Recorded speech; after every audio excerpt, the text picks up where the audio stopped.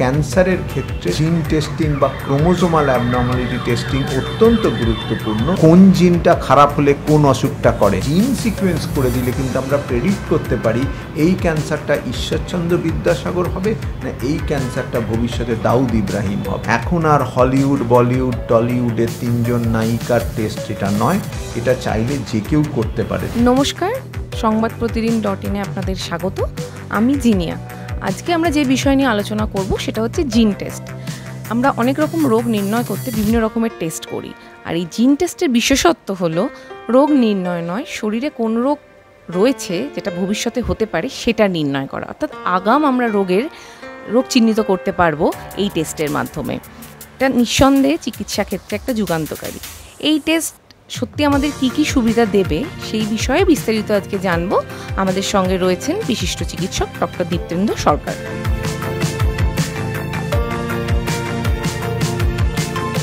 মোটেই এটা খুব সহজ টেস্ট নয়, খুব কমপ্লিকেটেড টেস্ট কিন্তু আমরা যত সময় গেছে এবং কোভিডের সময় আমরা বুঝতে পেরেছি, যত কাণ্ড জিনে, অর্থাৎ সব অসুখের মধ্যেই কিন্তু লুকিয়ে আছে তার জেনেটিক চেঞ্জ সেই কারণে এই টেস্টটা অত্যন্ত গুরুত্বপূর্ণ এবং আগামী দশকে আমরা জেনেটিক টেস্টটাকেই স্ট্যান্ডার্ড অফ কেয়ার হিসেবে দেখতে চলেছি।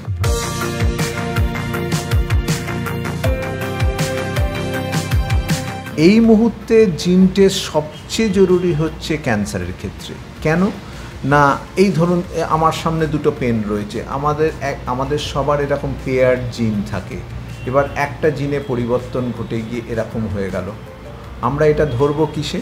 আমরা তো চোখে দেখতে পারব না মাইক্রোস্কোপে পারব না জেনেটিক সিকোয়েন্সের মাধ্যমে বুঝতে পারব যে কোনো পরিবর্তন হচ্ছে না পরিবর্তন নেই। সুতরাং ক্যান্সারের ক্ষেত্রে সবচেয়ে গুরুত্বপূর্ণ, এর বাইরে অনেক পারিবারিক অসুখ আছে যেটা তার পরিবারগত জিনের মধ্যে থাকে এবং তার জন্যে গ্লাইকোজেন স্টোরেজ ডিজিজ বা লিভার রিলেটেড নিউরোলজিক্যাল বিভিন্ন সমস্যা হয়। সেটার ক্ষেত্রেও জিন টেস্টিং ইম্পর্টেন্ট আর একটা জায়গায় জিন টেস্টিং বা ক্রোমোজোমাল অ্যাবনর্মালিটি টেস্টিং অত্যন্ত গুরুত্বপূর্ণ। যাদের প্রেগনেন্সি বেশি বয়সে হচ্ছে, তাদের সন্তানের ক্ষেত্রে যে নতুন সন্তান জন্মাবে, তার কিছু ক্রোমোজোমাল অ্যাবনর্মালিটি থাকে এবং সেক্ষেত্রেও কিন্তু গাইনোকোলজিস্টরা চাইলে আগে টেস্টটা করিয়ে নিতে পারেন এবং তিনিও টেস্টটা করিয়ে নিতে পারেন যাতে সে ইন ইউটেরও বুঝতে পারবে কোনো ক্রোমোজোমাল অ্যাবনর্মালিটি আছে কি না এবং সেভাবে ব্যবস্থা নেওয়াও সম্ভব হবে।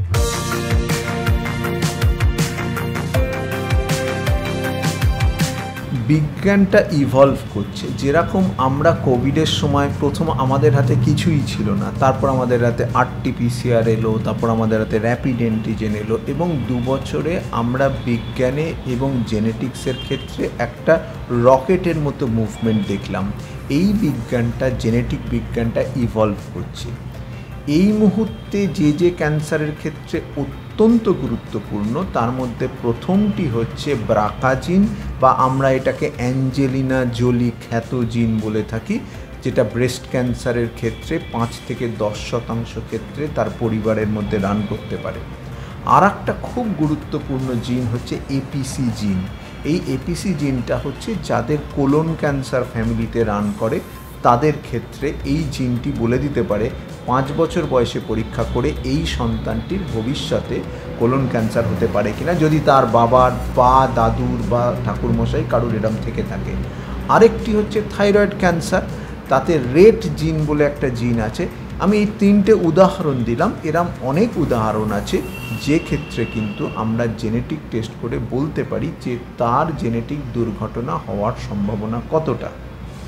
আমরা জিন থেকে এটাও বলতে পারি যে চিকিৎসা করলে চিকিৎসার এগেনস্টে কোনো রেজিস্ট্যান্স হবে কি না অর্থাৎ তার জেনেটিক প্যাটার্নটা এই পার্টিকুলার কেমোথেরাপি বা হরমোন থেরাপি বা ইমিউনোথেরাপিতে কাজ করবে না করবে না। আমরা লাস্টে বলতে পারি যে এই যে ক্যান্সারটার নেচার কীরকম, অর্থাৎ অ্যাগ্রেসিভ ক্যান্সার না লেস অ্যাগ্রেসিভ ক্যান্সার আমি সহজ করে বলি, ধরুন একটি স্কুলে ক্লাস ফাইভে দুটো ছেলে পড়ে। একজন ভবিষ্যতে টেরোরিস্ট হবেন আর একজন ভবিষ্যতে ঈশ্বরচন্দ্র বিদ্যাসাগর হবেন। তো এই যে কে খারাপ হবে আর কোন ক্যান্সারটা ভালো হবে, সেটা যেই মুহূর্তে আমরা ডায়াগনোসিস করলাম ক্যান্সারে, তার জিন সিকোয়েন্স করে দিলে কিন্তু আমরা প্রেডিক্ট করতে পারি এই ক্যান্সারটা ঈশ্বরচন্দ্র বিদ্যাসাগর হবে না এই ক্যান্সারটা ভবিষ্যতে দাউদ ইব্রাহিম হবে। সুতরাং জেনেটিক সিকোয়েন্সিংয়ের এতটাই গুরুত্বপূর্ণ এবং আমি নিশ্চিত আগামী দশক জিনের দশক হতে চলেছে।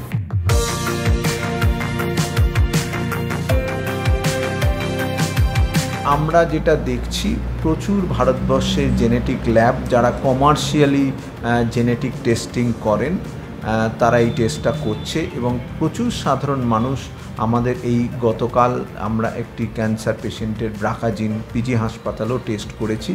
সৌভাগ্যজনকভাবে এটা এখন মধ্যবিত্ত বা ইভেন নিম্ন মধ্যবিত্ত ধরাছোঁয়ার মধ্যে রয়েছে। এখন আর হলিউড, বলিউড টলিউডের তিনজন নায়িকার টেস্ট এটা নয়, এটা চাইলে যে কেউ করতে পারেন।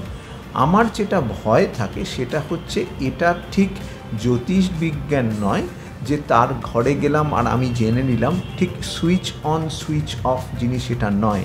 সুতরাং এটা ব্যবহার করবার সময় নিশ্চিতভাবে গুরুত্বপূর্ণ হচ্ছে তার সাথে আলোচনা করা। এবং তার কি আশা এবং কি এক্সপেকটেশন এবং এই টেস্ট তাকে কী জানাতে পারবে, এই সম্বন্ধে একটা স্বচ্ছ ধারণা দিয়ে তবেই এই টেস্ট করা উচিত। এটা চিকিৎসকের পরামর্শ ছাড়া সম্ভব নয়।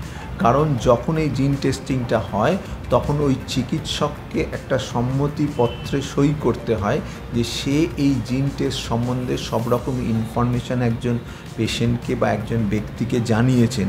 তারপরে রিপোর্টটা কিন্তু প্রাথমিকভাবে চিকিৎসকের কাছেই পাঠানো হয়। তারপরে সেটা পেশেন্টের কাছে যায়। কারণ এর মধ্যে অনেকগুলো খুব এথিক্যাল ইস্যুস আছে, সেগুলো বাইপাস করে জিন টেস্টিং করলে কিন্তু সর্বনাশ হবে।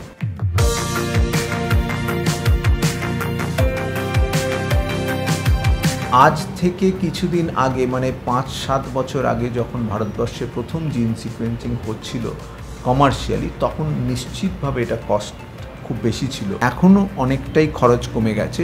পশ্চিমবঙ্গের সরকারি হাসপাতালে যে ক্ষেত্রে জিন টেস্টিং প্রয়োজন হয়, সেক্ষেত্রে কর্তৃপক্ষর পারমিশন নিয়ে আমরা সেই টেস্ট নিখরচায় করে দিতে পারি। আর যারা পারেন, তাদের ক্ষেত্রে এটা দশ থেকে কুড়ি হাজার এরকম একটা রেঞ্জের খরচা হয়। এবং তারা অ্যাফোর্ড করতে পারেন, তারা কিন্তু প্রাইভেটে এটা করিয়ে নিতে পারেন। আরেকটি খুব গুরুত্বপূর্ণ জিনিস যেটা আমরা বলি জিন ব্যাংকিং বা জিন আর্কাইভিং অর্থাৎ শুধু টেস্ট করলে হবে না। আমাকে কিন্তু প্রত্যেকটা জিনের কি কি ইমপ্রিন্ট আমি দেখছি মানে শাড়িতে যে ছাঁচটা নেওয়া হয়, সেই জিনের ছাঁচটাকে আমাকে জিন লাইব্রেরির মধ্যে রক্ষণাবেক্ষণ করে রাখতে হবে। কারণ ভবিষ্যৎ প্রজন্ম কিন্তু এর থেকেই পরিসংখ্যানগতভাবে ঠিক করবে যে ঠিক কোন জিনটা খারাপ হলে কোন অসুখটা করে। কারণ এই মুহূর্তে আমরা অনেক ক্ষেত্রেই শুধু আইজাক নিউটনের মতো আপেলটাকে পড়তে দেখছি। লস অফ গ্র্যাভিটি হয়তো আরও দশ বছর বাদে আসবে। সুতরাং জিন ব্যাংকিং জিন বায়ো ইনফরমেটিক্স কিন্তু একটা অত্যন্ত গুরুত্বপূর্ণ পেশা হতে চলেছে।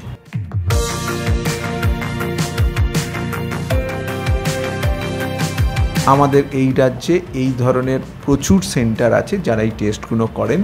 কিছু কিছু তারা নিজেরা করেন, কিছু কিছু হয়তো অন্য রাজ্যে গিয়ে করান, কিন্তু কিছু মৌলিক টেস্ট কিন্তু পশ্চিমবঙ্গেই হয়ে থাকে।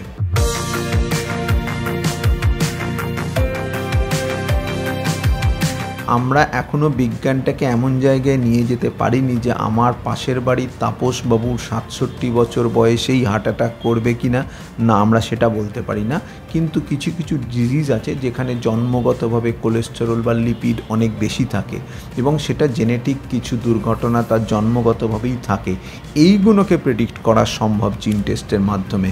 আরও যত সময় যাবে, আমি নিশ্চিত সামনে বছর যখন আমরা আলোচনা করব, আমরা আরও হয়তো নতুন কুড়িটা অসুখের কথা বলব যাদের জিনের কালপিটটাকে আমরা আইডেন্টিফাই করতে পেরেছি এবং তার এগেনস্টে আমরা স্ট্র্যাটেজিও সেট করতে পারব।